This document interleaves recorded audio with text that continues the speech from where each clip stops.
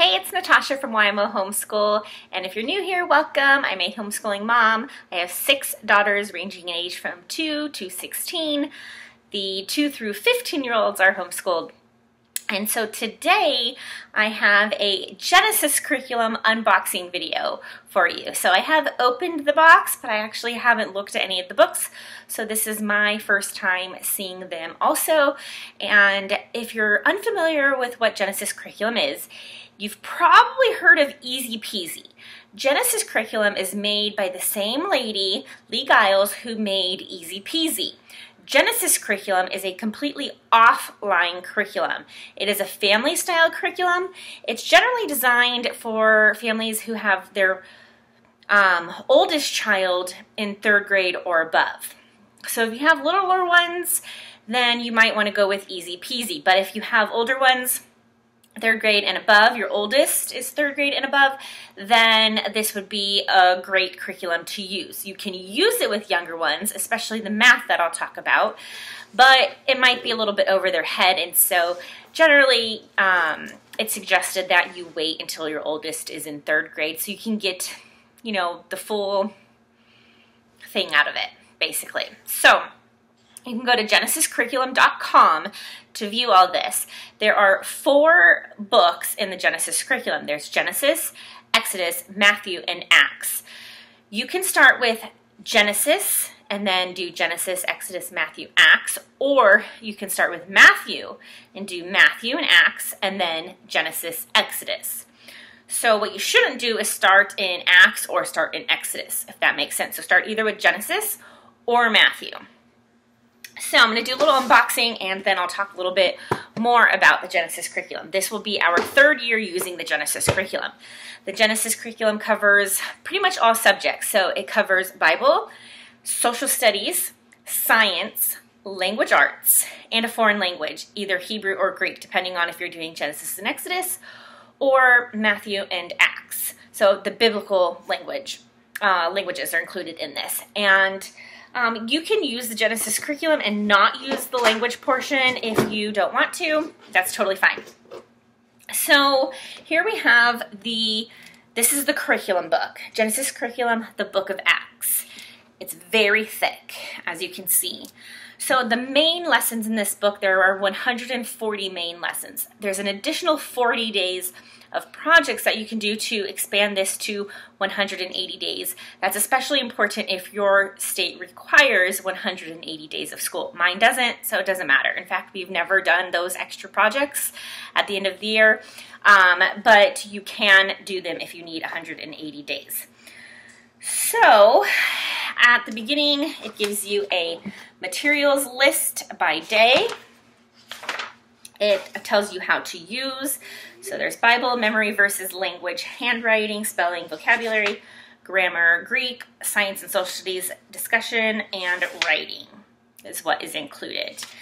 And it gives you some writing instruction, and it gives you some paragraph, essay outline things here, and an essay editing checklist. And now here we go to day one. And what you do to teach this, you literally open this book and you start reading to your kids. That it's that simple. If you want an open and go curriculum, this is completely open and go. And so it says read Acts 1, 1 to 8. And it has it written here in the book for you, so you don't even need to pull out your Bible. But of course, if you wanted to have your kids read along, you could have them pull out their Bibles and you could take turns reading. You could do it however you want. And then you'll practice the memory verse, and then you'll get into language, and you'll do handwriting spelling, um, words to know, apostles, convincing proofs, uh, remotest, um, like the the word, um, and then, sorry, then you will give spelling tips for those words, and then it um, says like you can. Uh, the word convincing follows the rule that a C followed by an I or an E has an S sound. How do you spell the ing sound? I-N-G. So he gives little like phonics tips and rules to help with the spelling. The spelling is pulled from the Bible passage that you just read. So it's the vocabulary. The science lesson and social studies lessons are inspired from what you read in the Bible passage. Okay, and then it gives a vocabulary word. There's one vocabulary word a day. In this case, it's remote. Um, and it gives you a definition, talks about the part of speech, um, gives an example. Then it goes into the Greek. Then it goes into science. And so, for example, it says the apostles were going to receive power. In the book of Judges in the Old Testament, we read about Samson. He probably he was probably an ordinary guy, but the Spirit of God gave him supernatural strength. In Acts, we read that the Holy Spirit will give the apostles power to be witnesses, not power to be strong men. But let's talk today about becoming strong. So you see how she just tied in the science lesson right there with the Bible passage. And then it goes on to talk about that. Um, it talks about a hormone called adrenaline. And here is a little picture here. The adrenal glands. Um, continues on talking about organs. And then at the end of each section, it has a recall section. And it's a recall. What is adrenaline for? What does it do to your body to help you do that? And then it tells you to define cells, hormones, and organs. And then at the end of the science and social studies sections, there's an explore more topic. If you have an older child, um, upper middle school or even high school, you can have them do these explore more topics where they would go out on their own to their computer or encyclopedias or whatever you have on hand and answer these questions. So the question for today's is what are glands? And they could explore that. Then it goes into the social studies lesson. For social studies, we're going to do some really specific lessons related to the scripture reading to understand it better. The first sentence, verses 1 and 2, refer to the first account, literally the first word, um, blah, blah, blah. Okay, so I'm not going to obviously read you the whole lesson, um, but ties everything in. And then it has a discussion question. Jews had nothing to do with the Samaritans. Is there anyone or any people whom you have nothing to do with? Great question. Talk about a great discussion prompt, getting the family really talking and thinking about that. And the, the discussions are completely open-ended like that. It doesn't tell you what you should think or should say or anything like that. It's really to get the dialogue going between you and your kids, and that is why I love this curriculum. Well, there's a lot of thing I love, things I love about it, but that's one of them. Okay, and then the writing, and it says the remotest part of the earth is the farthest place you can get. One place can be remoter than another, but the remotest place is at a greater distance than them all. When we add est onto an adjective, we call that the superlative. It's the most of whatever it is. Some examples, and then talks about adding er. It goes through a lesson. Um, and then um, it tells them to go to writing sentences one page in their workbook and do the worksheet. So every Monday or the first day of every week, if you don't do Monday through Friday, it obviously wouldn't fall on Monday, then you can, um, you'll have a writing worksheet. So there's not a writing worksheet every day of the week, but every first day of the week, there's a writing worksheet, if that makes sense. And then you go on to day two. So that's how it works. Now, a lot of this you just do orally. So let me show you what else I got here to, okay, let's see. Okay, so here's the workbook. Okay, this is the student workbook, and it has that those writing worksheets I was just telling you about. So here would be their worksheets for that. It has spelling review worksheets in here. It has, um, oh, my kids love this one. It's like Battleship with spelling. That's their favorite. Um, it has grammar review worksheets in here. It has vocabulary review and science review and social studies review.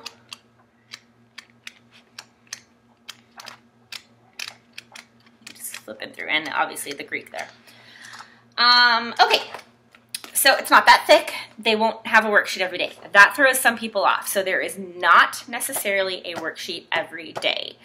During review weeks, there is worksheets. Ten, so there's usually the writing worksheet every first day of the week, and then there is um, during the review weeks, there is worksheets for all of those reviews. So, um, for example, you would do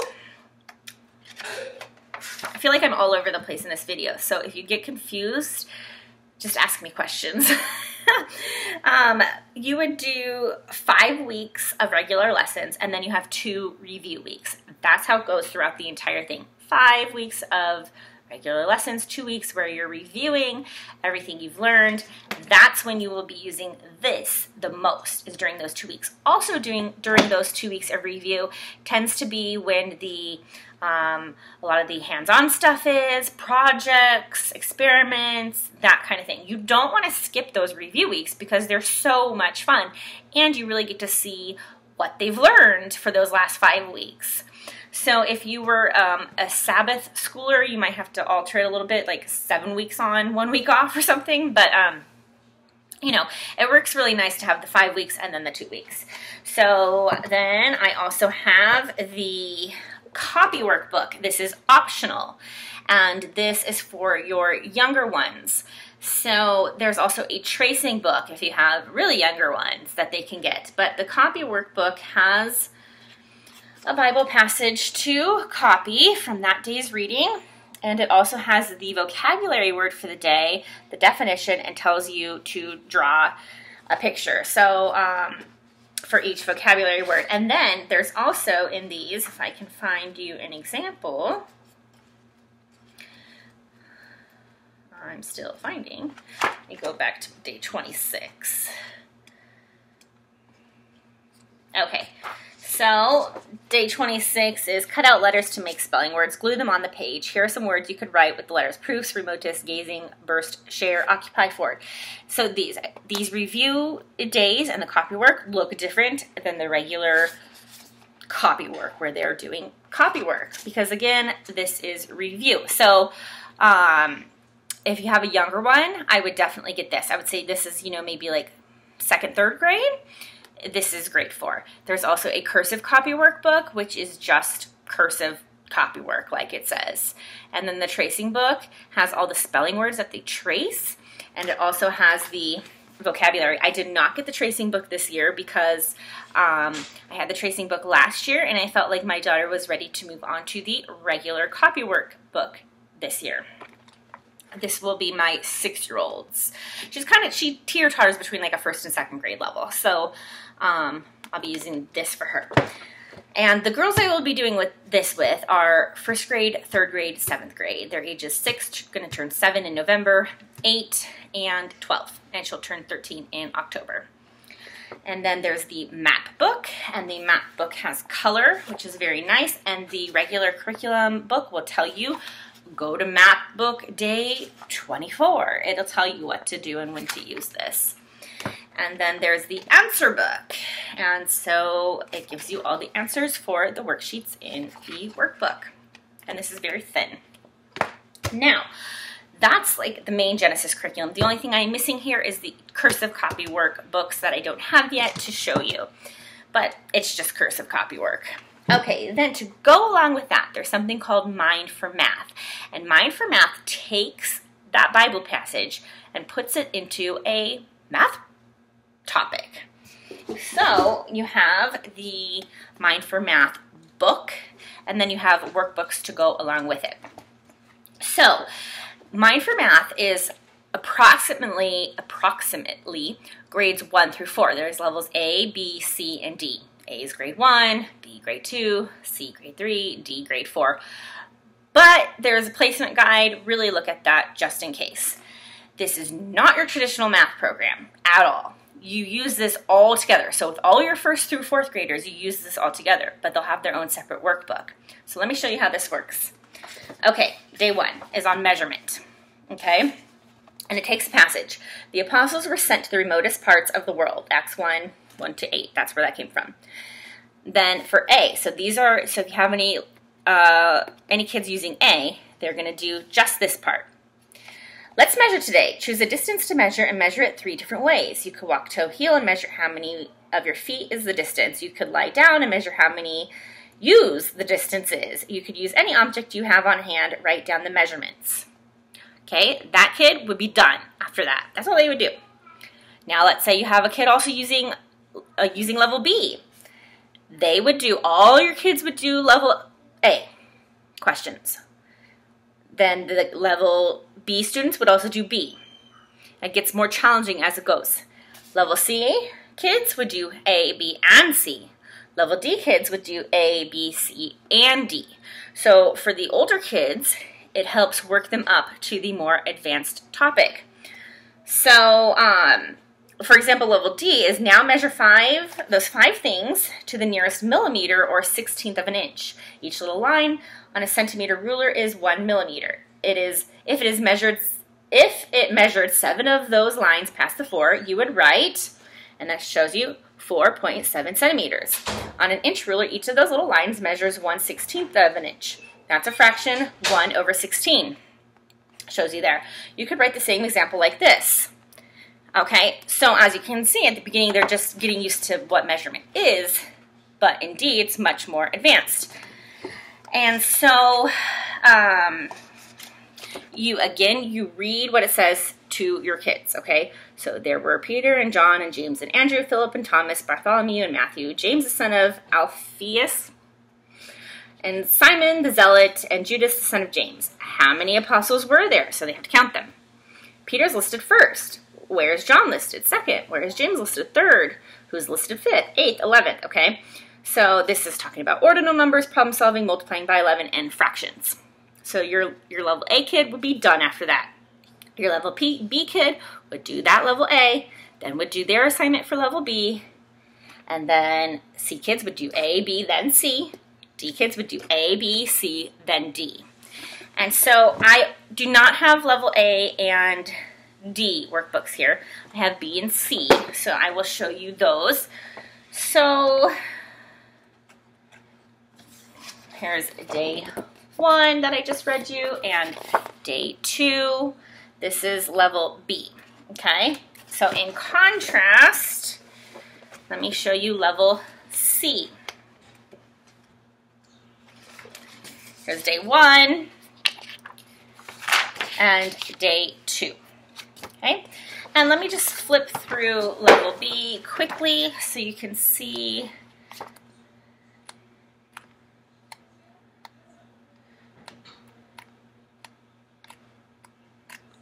go a little faster. So you see they're um, adding and subtracting multi-digit numbers. Money, time. You see there's a lot of word problems. But again, the parents walking them through this. This is not a curriculum that you can hand them. This is not independent work. You have to have the teacher book, and read them the lesson and do it with them. Roman numerals, okay? So that is B. And then C.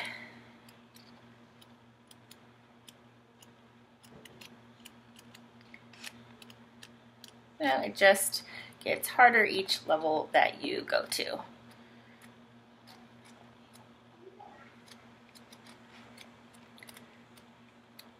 I know I'm going kind of fast here. I just kind of wanted to give you an idea of what this looks like.